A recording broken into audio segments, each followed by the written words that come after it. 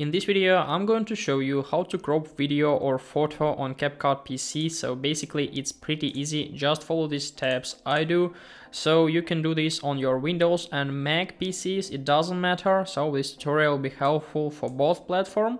Let's get started. So sometimes this function is really important. So as you can see here, um, we have a nature, but what if we want to crop the video and uh, what do we need to do? Firstly, just find the video on your timeline. So basically, all you need is just to move it on timeline. Yes, so drag and drop, and then just uh, click on it. So now it's selected. So as you can see, the white border appears when the video is selected. Uh, so after that, all you need uh, is to find the functionality panel right up here and then just find the crop function crop button.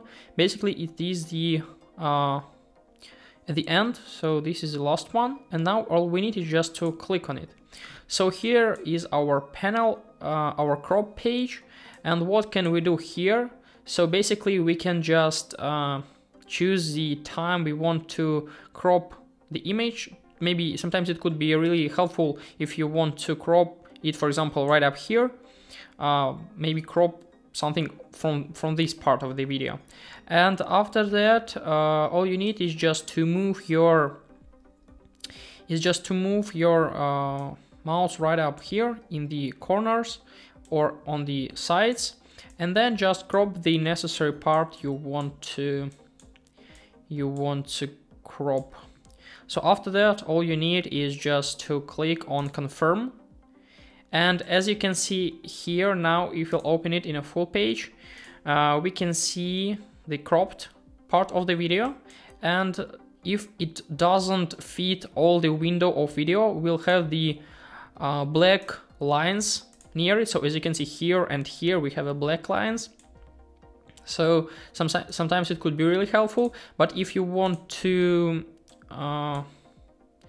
don't uh, show this these lines, you can basically zoom uh, all the video to fit it, but we will lose some part of the video, which is from the sides, from the left side and from the right side.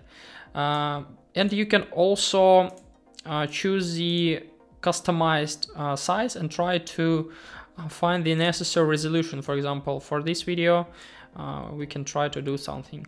So guys, I have more video tutorials about CapCut in this playlist. I suggest you to watch it. I hope this video was useful for you. If it is, please like this video, subscribe to my channel and write your comment. Goodbye!